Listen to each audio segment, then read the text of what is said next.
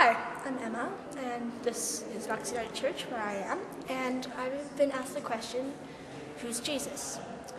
Um, I think that the perspective of Jesus changes when you get older, and it becomes more complicated and stuff, but I think the easiest way to think of him is when you're young, you just think of him, he's, he's just the good guy, right?